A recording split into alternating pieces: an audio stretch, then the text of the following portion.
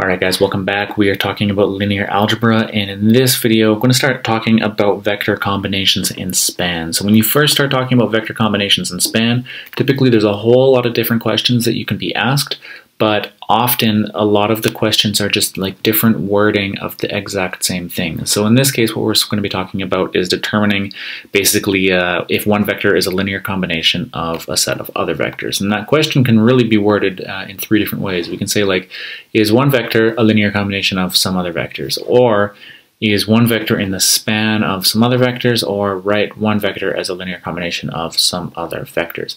These three things are exactly the same and we solve them in exactly the same way.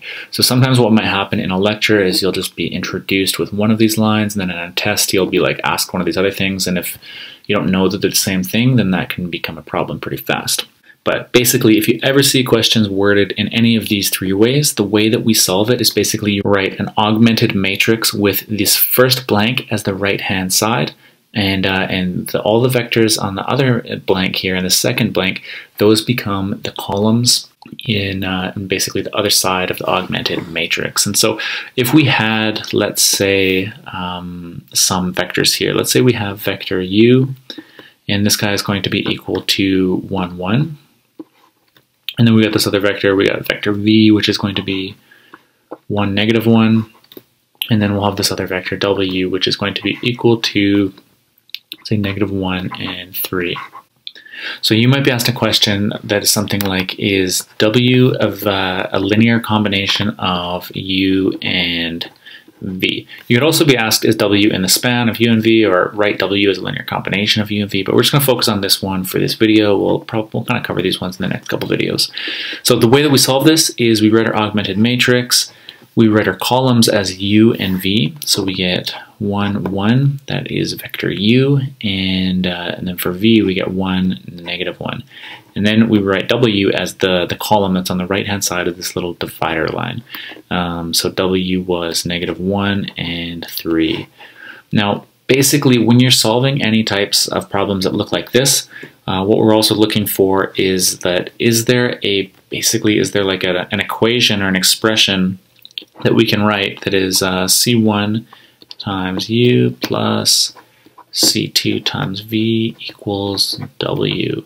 Um, now, if you had more than two vectors, then you would basically just have another C thing. These C's are just scalars. So as when you see scalars times vectors here equal to another vector, this is basically the expression for a linear combination of vectors.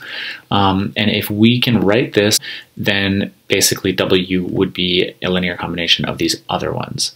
Um, so we want to be able to figure out what this expression is basically.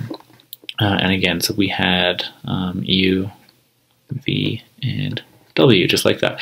And actually, if we go ahead and solve this by basically getting it down to reduced row echelon form, we'll be able to determine if this augmented matrix has one solution, infinite solutions, or zero solutions. And as long as there is at least one solution, then that means that W is a linear combination of these other ones, or however many we have here, basically. Um, so let's go ahead and and uh, and work this through. Um, if we if we found that there was no solution, then basically W would not be a linear combination, and that's basically all you would have to say.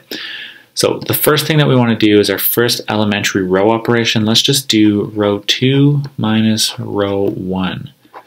All right, so we have row 1 is not going to be affected by this step, but here in row 2 we're subtracting this out, so we have 1 minus 1 is 0, negative 1 minus 1 is negative 2, and 3 minus negative 1 is positive 4.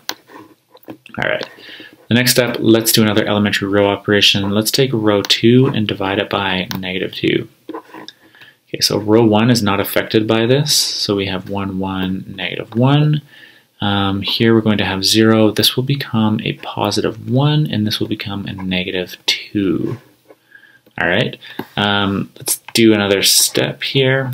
We'll just have row 1 minus row 2.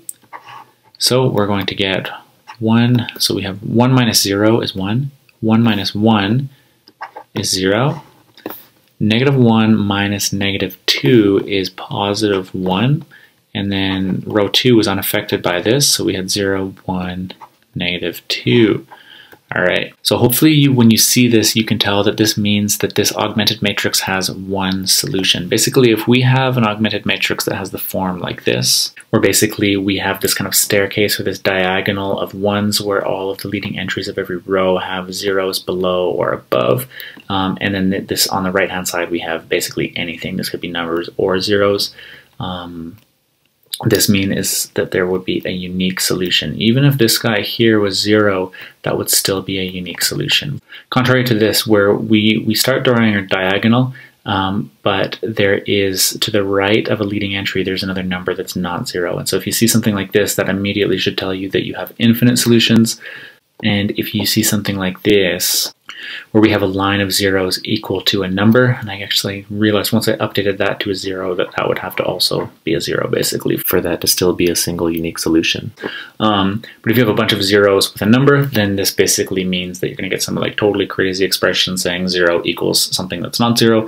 And this tells you that there is no solution. So um, hopefully this is not new to you. I've, I've, I made a video on this stuff in the past, and uh, if that's a really good thing to just be able to spot about how many solutions an augmented matrix has um, about well, yeah, whether it's zero, one, or infinite. Anyways, so moving back at this, when we see this, we have a diagonal here of ones, and there's no entries that are like a to the right or left of those leading entries. So this means that we have one unique solution. And really what that solution is in vector form is uh, just 1, 2. Or if we wanted to write it in this expression here, we could write that we could sub these in. So this would be like C1 is equal to 1 and uh, C2 is equal to negative 2.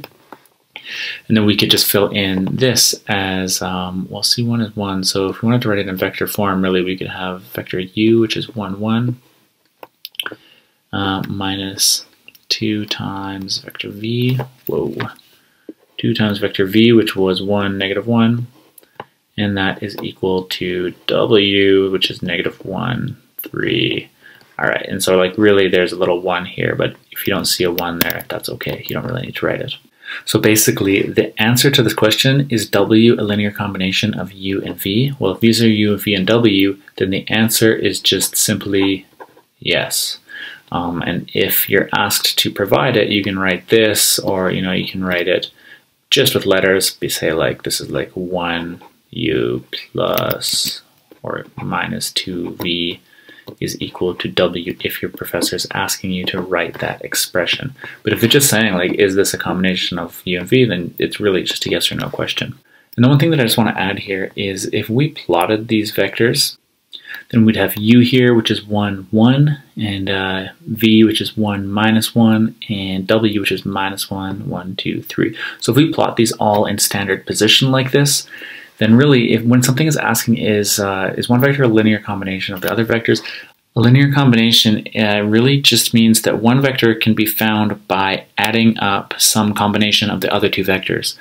Um, so if we come in here and we added these things together, uh, well, the solution was, uh, where was the solution? 1u minus 2v equals w. So if we add tip to tail and we add in negative 2v, so that would, negative 1v would take us to here, and negative 2v would take us to there. And so by vector addition, we would actually say that, yeah, u, 1u minus 2v really is equal to w. And that's all this is saying. It's just saying a linear combination. Yeah, there is just some way that we can add these two vectors together to get that. And this is a single unique solution.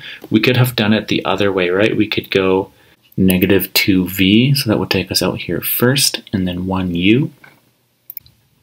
Either way, we, we basically organize this equation. We're, we're still getting the same answer. It's a single unique solution. Um, when you do have uh, I think I'll try to highlight this in the next couple of videos, but when you do have one with infinite solutions, it's because the two vectors at the beginning are parallel to each other and they just form basically a line. And the third vector is also parallel, so it just lives on that line. Um, or in cases where you have no solution, that would be like a parallel line here. And then we're trying to add up those basically to get out here. So we'll, we'll I'll make sure to do those in the next two videos as well, just so you see some visual examples.